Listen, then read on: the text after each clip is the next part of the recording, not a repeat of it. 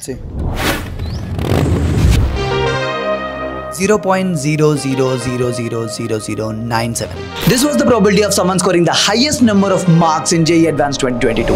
Rank one पे अगर हम बात की जाए तो आर के शिशरो ने परचम लहराया है आईआईटी बॉम्बे जोन के R K Shishir A I R K शिशिर तो आर के शिशर ने Hello everyone, here we have the All India Rank 1 JEE Advanced 2022. So, man, why don't you introduce yourself first of all? So my name is Shishir. I have got uh, Air One in J Advance. I'm from uh, Bangalore and I've been studying in uh, Narayana. Now, this number seems small, but the competition is insanely high. Around 10 lakh students appear for JEE every single year, and yet there's only one topper. People spend two years, some spend four years, while some students even spend seven years of their life preparing for this examination. That's insane. But what's more insane is being the topper of this exam. But when did you start preparing? Yeah. Did you also start preparing from class 6, class 7, and all? Yeah, even I'm like early, but I start preparing from 8th. But Okay. I think I wouldn't recommend it, but yeah, I prepared started preparing from 8th. You know what it takes to be a topper? How many years of preparation? What books to use? How many years did he prepare? How many hours did he study every single day? I don't know, man. But today we have the topper, RK Shishir, to tell us the books, tips, and the ultimate preparation strategy to prepare for IIT JEE exam.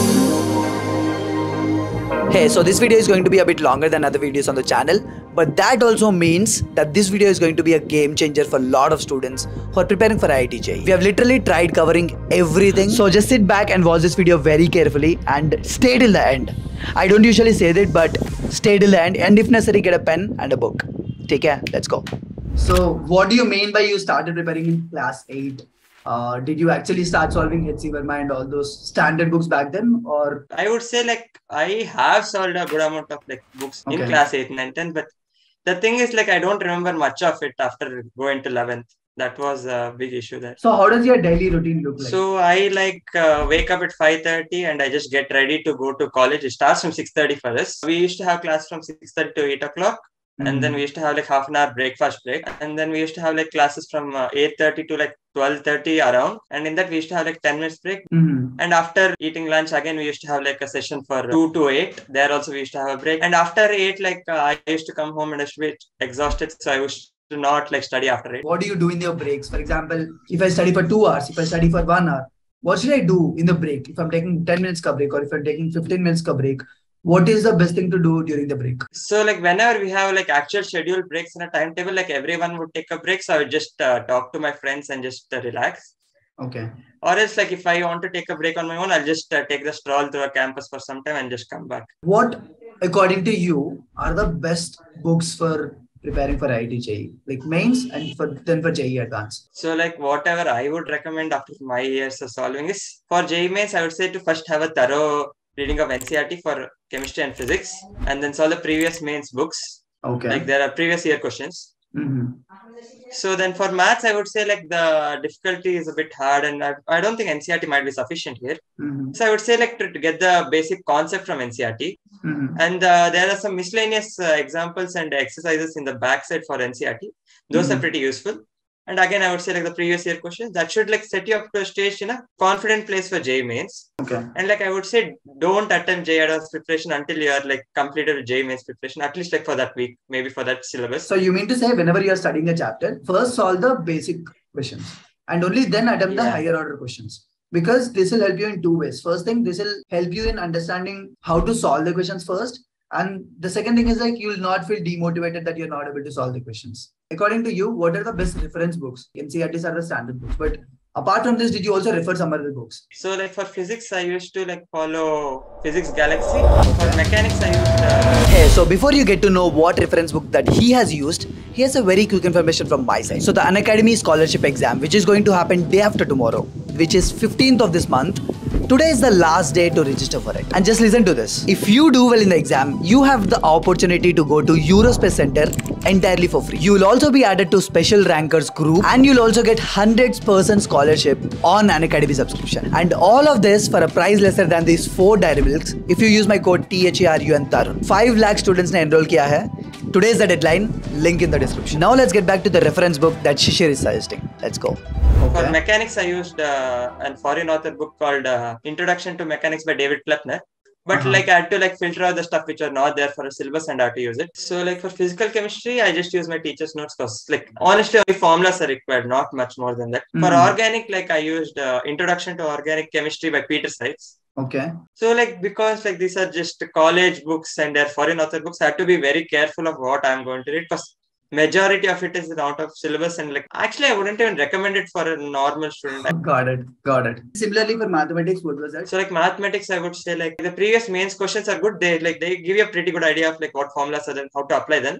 And the Mhm. previous advanced questions I would say are really good because they just make you think a lot. You know, there are a lot of standard books inside, you know, the market right now. For example, there is Singh series, there is Arihant series, there are, you know, so many other coaching institutes ka series and all. After the conversation that we had in the last five minutes, I understood that you did not use any of this. I used them at the ending, but that's just because I had too much time in my hand. Like What is your favorite subject? Math, physics, chemistry. Which one is it? so, like I would say my favorite subject is maths. I just enjoy doing maths. Math. Acha, you love maths a lot. How many hours did you study, uh, you know, each subject individually? So like because in 8th, 9th, 10th, I used to like enjoy maths. My maths is pretty good even like going to 11th and 12th. Mhm. So like at the starting, like I was just giving four, four hours for each because I had to like learn the stuff. Got like it. once I had learned everything and like we our exams got delayed, we have a lot of time for revision. Got it. So like I realized like I'm strong at maths, so I started giving like two and a half to three hours for maths, four hours for physics, and like rest all time for chemistry because I was like very bad at inorganic and So imagine there is a person, person A called Rahul. He listened to the class, he made the class notes, he went through the short notes, but when he sat down in the study hours, he was not able to solve the questions. What is your advice for these people? so like if there's a reason of not solving question, there are too things. Mhm. Either you have conceptual labs Mhm. or they are just solving two hard questions and you just have to like uh, first solve the easier questions once to get a hang of what you're doing and then maybe you can Or maybe start with example problems, then level one problems, and then level two. Basically, like building the bricks. Yeah it's better to build than like try to directly build a building without foundation Got it, got it. And people also have a lot of doubts on how to make the best notes possible. And uh, each short notes important. i can't comment much on this because i was too lazy to make notes in the class time okay. and uh, if i don't understand i just read the textbook again and again i didn't mind if it took more time but Okay. What about short notes? You did not even make short notes. No my remedy for short notes was just giving more exams so that uh, all the type of uh, questions might get covered Got it, got it, got it. Perfect. As as you brought up the topic of uh, exams during your preparation, how frequently did you give the mock test? I used to give two mock tests a week on Sundays. Like generally, it used to be similar to the advanced pattern, and some days I used to give like mains uh, mock test just. But the ending, I used to give like a mock test every day. The last one month, I used to give one mock test every day, so I can just get exposed to more type of questions. And Got the it. main thing about mock test is don't get demotivated by your low scores in that. You will Yeah. score low. It's not a great deal. What was your motivation? How did you stay so consistent? How did you stay so dedicated? So like the first thing is like just I had to stay in the top in my college. That's like a requirement for me, I guess. Like Okay. because once I was like the top, I had to just maintain that. Mm, correct. And the second thing was like whenever I used to get demotivated, like my parents, my teachers used to support me a lot. Got it. And then uh, sometimes I used to see videos about IITs and all, like how the life is. I've seen Alright. even some of your videos about IIT Kharagpur and Perfect. Perfect. Perfect. so like that used to motivate me in whenever I felt like not studying, so that I'll just study more. Got it. Got it. So, what, what, according to you, what is the optimum amount of time that a JE aspirant should prepare? So I would say like uh, yeah, 10 to 12 hours. If you are focused for a 10 to 12 hours, it's a pretty good time. You don't have to give more time than that. You'll get a pretty good score. Got it. Got it. So basically, your preparation strategy was not in not much into making notes, going through the notes and all. It was more aggressive. It was like just go through the textbooks, listen to the class, and solve as many questions as possible, and then solve like two mock tests a week in the beginning, maybe three mock tests in the beginning, and when you know advanced or JE mains or these exams are coming up, then you solve one mock test every single day, that you can get a more uh, exposure to the questions. Yeah, basically. So that is all for the video guys. I hope you have loved it. So the actual interview took over like one hour or something. So this video is like a shorthand trimmed form of it. And if you'd like to watch the untrimmed version of the entire interview, I've given the telegram group in the description below. Join it and I'll be posting the entire video at 9 pm today. And if you have any questions either to me or to Shishir, just go to the comments below and ask us. And I'll make sure to answer each and every question that you ask. And rest apart, I'm back. Midterms got over. I'll be posting the vlog about it very, very, very soon, either on Saturday or on Sunday. And the placement drive in the campus also started, so life has become a bit hectic right now. But anyways, I'll see you very soon, either on Saturday or on Sunday. Bye bye. Yo, microphone check, make it a microphone check. Give it a microphone, I make the make it a microphone dead. Don't step to me, newbie. I could truly be moody. I could have played the fucking.